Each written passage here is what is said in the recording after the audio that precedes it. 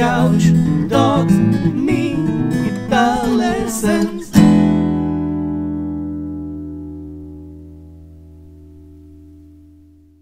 Hey there, Riffers, how are you doing? Welcome to another installment in the never ending fingerstyle rhythm pattern and exercise video series where every week we alternate between beginner, intermediate, and advanced fingerstyle lessons.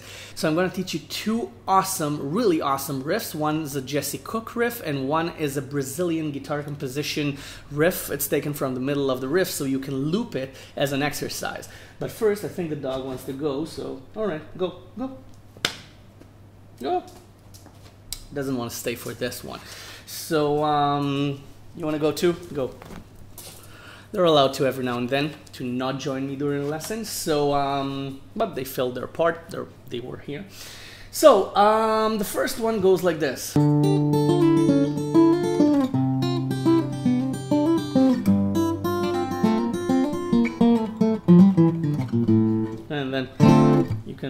D minor 7 if you want.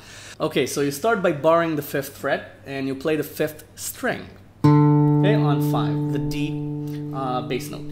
Then you play 8 on the second string using the pinky, and then you let it go and play 5 on the E string, which is the bar. Okay, it's supposed to be staccato. Okay, it's not supposed to be harmonized. Okay, this is wrong. It's not um, wrong for the expression, the original expression of the lick. I mean, you can do it if you like how it sounds. But the original uh, intention is, okay, staccato. Then you um, pull off from five, um, from six to five on the second string. Then the E string on five. Okay, so it's. Then you hammer on from 6 to 7 on the third string. The bar is still on all the way. Then you play the E string on 5. Okay, so it's 8, E string on 5. Okay, let's call it A because this is the A note. So 8 on the second string, A. Then, not like this, like this. Then pull off from 6 to 5 on the second string, A. Then hammer on from 6 to 7 on the third string, A. Then a hammer on from 5 to 6 on the second string, then A again, then 7 on the third string. Okay, that's the lick.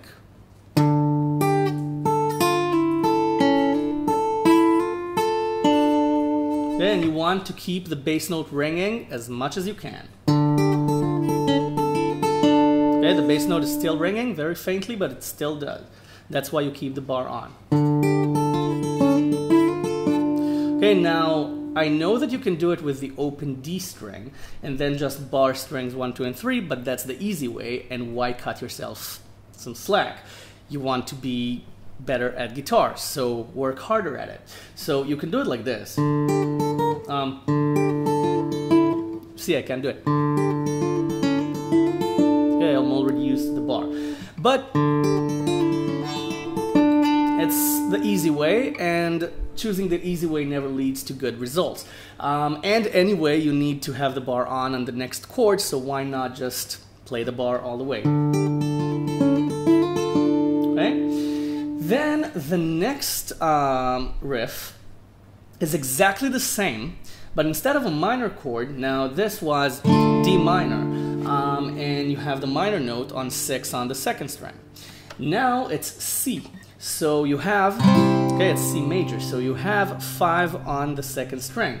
So everything is the same except for the note um, half a tone above the bar on the second string. You play a tone above the bar. So it's this. Don't worry, I'll explain it.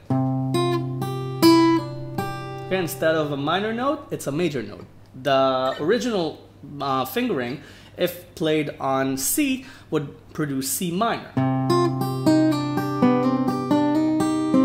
And we want C major, so instead of 4 on the second string, we play 5.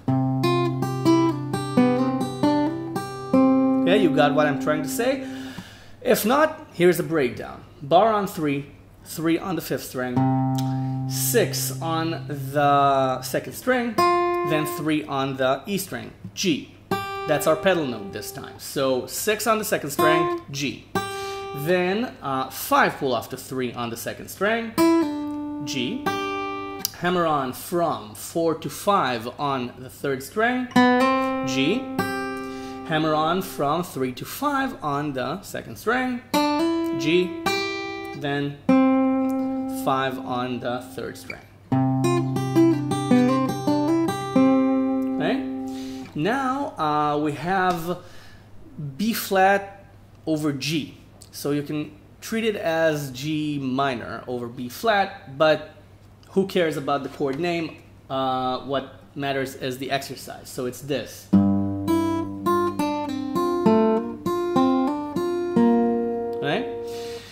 You put your third finger on 3 on the 6th string, the G bass note.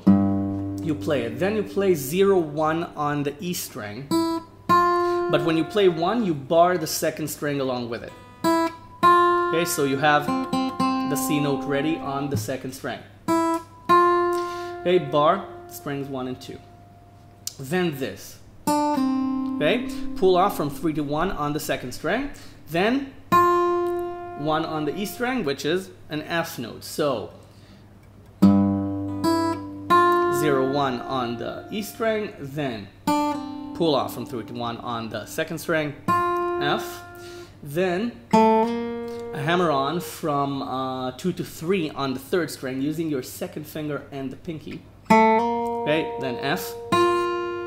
Then uh, this. A hammer on from 1 to 3 on the second string. Then F.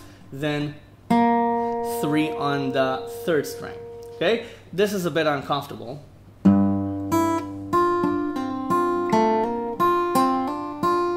Okay, but you get used to it. Then you do this. Okay, so it's okay, three pull off to two, pull off to zero, then two again on the third string. Then three hammer on to five on the fourth uh, string, then two, then open fourth, then three one zero on A. Okay, so basically, this is a very, very, very smart rendition of the chord progression cliche, which is the Spanish chord progression. This is very, very smart. Um, so um, it ends on the A bass note, leading back to D minor. Now, um, again, okay, three, two, zero, two on the third string. Um, three, five, two on the fourth, then open fourth, three, one, zero on A. And then you start again, or end on D minor or D minor 7, which is just D minor without the pinky. With 5 on the third string. So that's our first exercise for this lesson.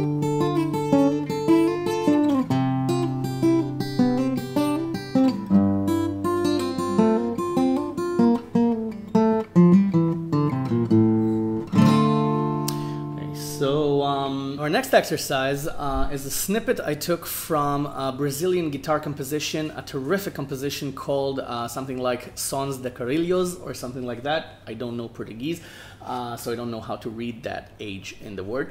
So um, um, it's uh, it's a snippet that you can loop around and just play it indefinitely until you're sick of it, um, and it sounds like this.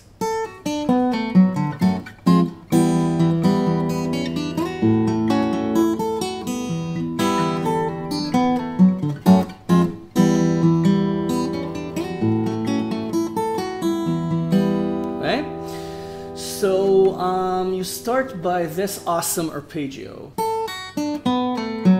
Okay, this is a D6 arpeggio. So you start with 5 pull off to 2 on the E string, then 3 on the second string, 4 pull off to 2 on the third, 4 on the fourth, 5 on the fifth. Okay, so. Right now, this is D6 because, um, just very quickly, C shaped bar, bar on 2, is D. Now, C, if you add 2 on the third string, is C6, And if you add the high G note, you get C with a high G note, which is a part of the C chord. Okay, you have the open G string in it. So it's this, okay, uh, with all of the additional notes, just up two frets. Okay, it's the C shape with the high A note and the sixth of the D chord.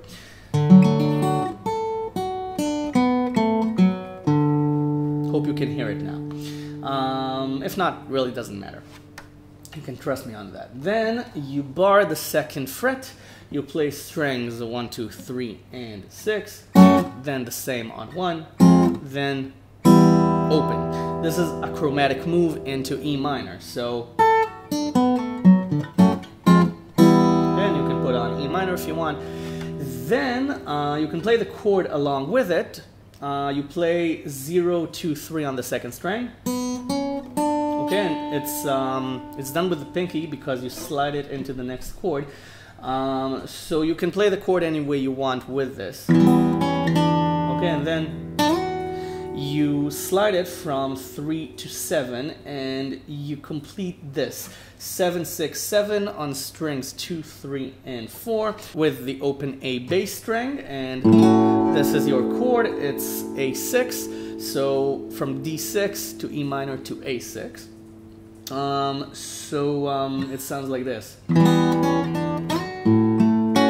okay and again you can play the chord any way you want I just play the A bass after after I slide, I play the A bass, giving myself time to put the rest of the chord on, 6 and 7 on strings 3 and 4.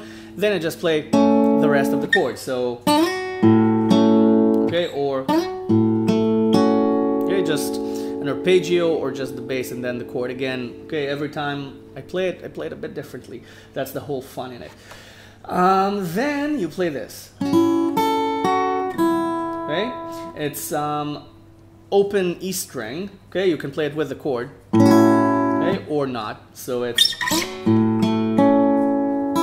and then the E string, then five on the E string. That's why you have your first finger open because you want the chord to keep ringing while you uh, close the chord. Okay, so then seven on the second string, and then you have options. You can finish on the open second string and then it would sound like this. And then you play E minor again. You can finish on the open E string. And then you play the E minor chord again. Or you can finish on 2 on the second string and then you have E minor 6. So it's Okay? So uh, you can loop it around. The first time, play it with the open second string. Second time, play it with the open E string. Third time, play it with two on the second string and see how that feels. So that's your exercise. Now let's recap because I'm pretty sure I've confused you by now. So E minor, A6, open second string, E minor. Again.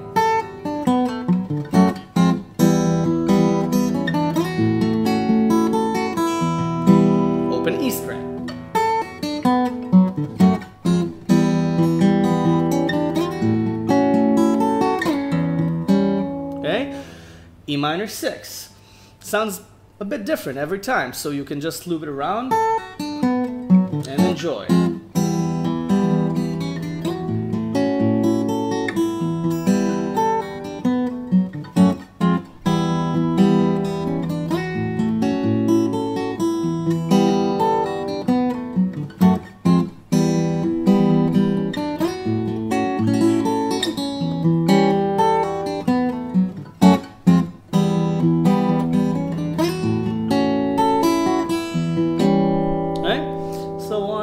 Forth.